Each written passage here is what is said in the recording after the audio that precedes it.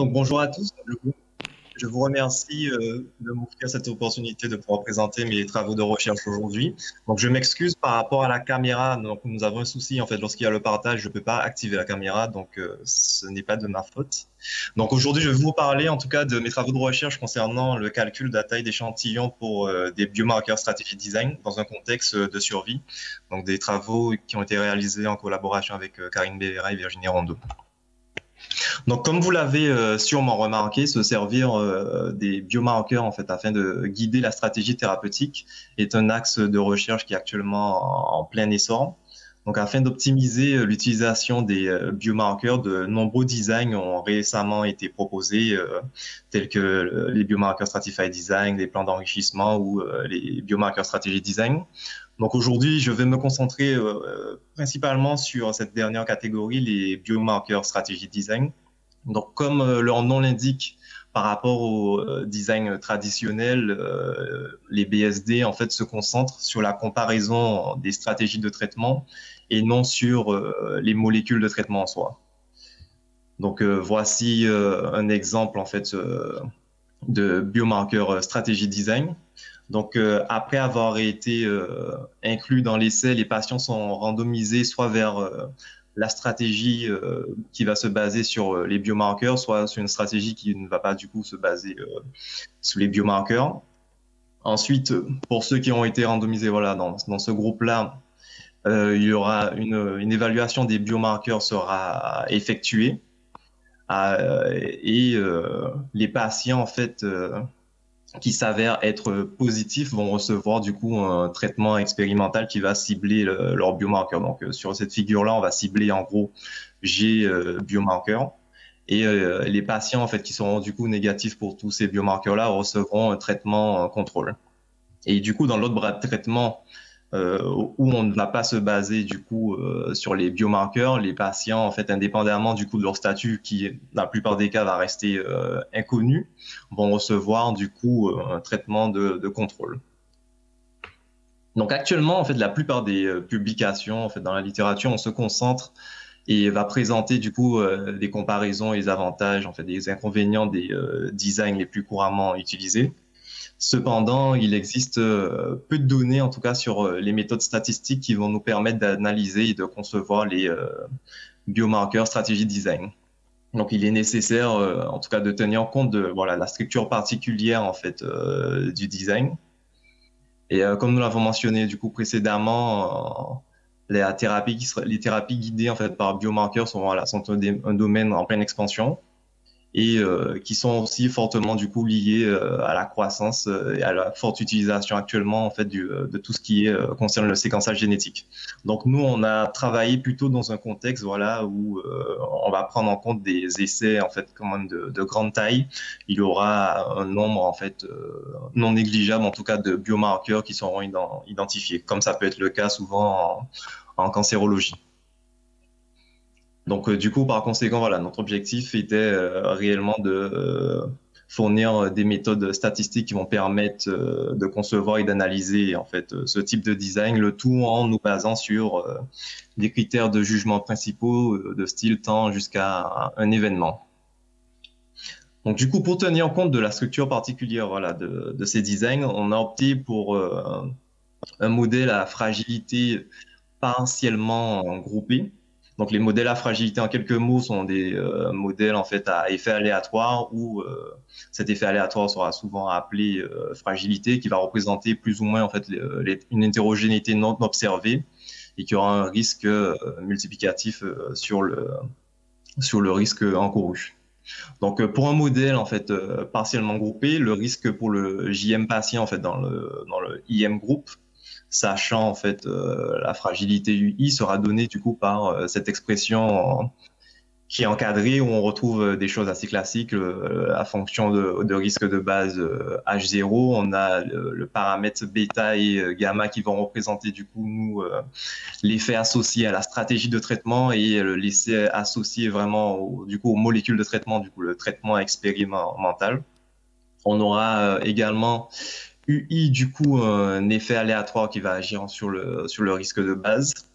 Et comme vous pouvez le voir, on a introduit un terme de puissance en fait euh, sur le UI qui va valoir 1 en fait pour les patients qui vont recevoir un traitement expérimental et 0 sinon. Donc ça va nous permettre de considérer la variabilité qu'il y aura dans les groupes uniquement en fait uniquement dans les groupes expérimentaux dans la stratégie de traitement qui sera basée sur les, sur les biomarqueurs. Donc de manière équivalente, en fait, on aurait pu réécrire cette expression-là en intégrant du coup le UI euh, dans l'exponentiel. Donc lorsqu'on l'intègre, on voit plus ou moins qu'on prend en compte du coup cette variabilité euh, euh, au sein en fait du traitement.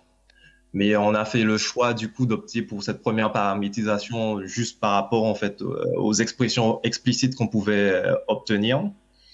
Donc, euh, on a supposé euh, que UI suivait en fait une distribution gamma à un paramètre euh, avec θ, qui va représenter la, variance du coup des UI.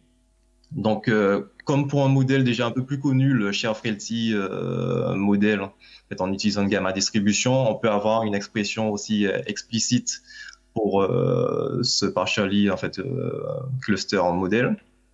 Donc, la vraisemblance marginale pour un tel modèle dans le cas de données euh, censurées à droite sera donnée par cette expression-là. Donc, on ne va pas rentrer éventuellement dans les détails, mais euh, on peut voir que le fait de rajouter ce, terme de puissance sur les II, on aura des termes qui vont dépendre du coup euh, du traitement et d'autres termes qui, voilà, qui, ne, qui, sont, qui ne vont pas dépendre du traitement. Donc, on a utilisé aussi une, une approche d'estimation en fait de ressemblance pénalisée. Donc, euh, nous avons aussi euh, mené du coup une étude de simulation afin de, valider du coup les performances de ce modèle-là, parce qu'il n'avait pas encore été proposé euh, non plus en fait dans un cadre de, survie. Donc, on a généré les données de manière tout à fait classique. On aura H0 du coup le, risque cumulé, on aura les UIJ qui vont qui seront selon aussi une distribution uniforme et les paramètres qui sont là sont défini de la même manière euh, que précédemment. On aura également opté du coup pour le risque de base pour euh, une distribution de Weibull à, deux paramètres. Donc, euh, pour évaluer du coup les performances du modèle, on a considéré entre 10 et 20 groupes de groupes de biomarqueurs positifs et dans chacun des groupes à 10 à 25 sujets. On a également fait varier du coup de 25 à 75 le, le nombre, en fait, la proportion du coup de patients en fait euh, biomarqueurs négatifs. On a considéré une variance aussi des, euh, des effets aléatoires de 0,1 à 0,2. On a simulé euh, en gros 1000 jeux de données pour chacun des cas. Donc voilà, on a constaté que voilà le, modèle estimait très bien en fait tous les paramètres, le bêta, le gamma en fait, ainsi que la variance, avec un léger biais qui était sur la variance, mais qui diminuait en, à mesure que la taille d'échantillon, en tout cas, a augmenté. Donc, pour revenir concrètement en fait au, calcul même et à l'estimation de la taille d'échantillon, nous avons considéré un test du coup euh, sur bêta l'effet de la stratégie de traitement car c'est vraiment l'intérêt principal du coup de ce type de design là c'est de montrer que la stratégie de traitement basée sur des biomarqueurs sera supérieure à celle euh, non basée sur celle-ci donc euh, voilà, soit nos paramètres estimés, bêta, gamma, θ, ainsi que les paramètres euh, du risque de base. On a utilisé du coup les hypothèses euh, nulles et alternatives suivantes, où on a considéré que sous l'hypothèse nulle, bêta était nul, et sous l'hypothèse alternative, on a bêta A qui va représenter du coup l'effet de la stratégie d'intérêt. Donc le test de Wald du coup, sur lequel on s'est basé, utilise le fait que l'estimateur du maximum de vraisemblance suit approximativement pour de, grands échantillons une distribution normale avec une moyenne euh, égale euh, à la vraie valeur du paramètre bêta et euh, d'une matrice de variance-covariance qui sera donnée du coup par l'inverse de la matrice d'information de, de Fisher. Donc euh, le test de Val pour tester en tout cas l'effet euh, bêta est, donné euh, du coup par l'expression suivante qui va suivre une distribution de qui 2 à 1 degré de liberté et de paramètres de non-centralité lambda. Donc on précise juste que le même travail peut être effectué sur d'autres paramètres, sur par exemple gamma qui va représenter le traitement expérimental. Donc on a également en fait la puissance voilà qui sera définie comme la probabilité que l'hypothèse nulle soit rejetée euh, lorsque l'hypothèse alternative est vraie. On peut déduire du coup directement du test de Wald une expression pour la taille d'échantillon. Donc on va pas rentrer en fait dans les détails de tout le processus d'estimation, notamment en fait dû à l'estimation de la matrice de Fisher, mais voilà, ça, euh, puisqu'on n'a pas du coup d'expression explicite euh, pour euh, cette matrice d'information. En fait, on, l'a approché en utilisant la loi des grands nombres et on s'est basé en gros sur sur la variance du score également. Donc, on a dû déduire les dérivées premières, en tout cas pour chaque paramètre, afin d'obtenir une estimation, en tout cas de de, de cette matrice d'information de Fisher. Mais voilà, si on veut plus d'informations, en tout cas sur un peu tout ce processus, euh, il y a un bon article de Goudisha en fait qui euh, permet euh, de rentrer un peu plus dans les détails sur celui-là. Donc concrètement, en fait, pour revenir sur en tout cas les, estimations. Donc là, je précise juste en amont qu'il n'y a pas une réelle en fait signification dans, dans la forme de, de cette courbe-là. C'était c'est juste une représentation qui va nous permettre de comparer la puissance en fait qu'on obtient de manière empirique à celle qu'on obtient en fait avec euh, notre méthode de calcul. Donc on voit en fait pour euh, différents scénarios du coup qui sont décrits euh, sur la droite que globalement en fait la puissance empirique est très proche ou quasiment identique à la puissance que nous avons calculée. Donc euh, ce même travail-là aussi a été effectué lorsque, au lieu de tester pour euh, l'effet de la stratégie, on veut tester euh, pour l'effet, par exemple, du traitement expérimental. Donc également, en fait, dans ce qui suit, nous avons représenté du coup graphiquement l'impact de différents paramètres en fait sur la puissance du test pour l'effet de la stratégie de traitement ou pour le traitement expérimental du coup euh, en, pointillé. Donc euh, sur le graphique de gauche, on voit en fait euh, l'impact d'un effet du traitement du coup croissant sur, sur les deux tests. Donc ça, c'est un résultat qui est globalement assez attendu, qu'on voit que la puissance va augmenter à mesure que l'effet en fait de la stratégie va augmenter on voit qu'il n'y a pas d'incidence du coup euh, lorsqu'on veut tester euh, sur euh, vraiment le traitement expérimental en soi. Et inversement, on retrouve le processus opposé où on aura en fait la puissance pour tester un effet significatif du traitement expérimental qui va augmenter à mesure que l'effet justement recherché va, va augmenter.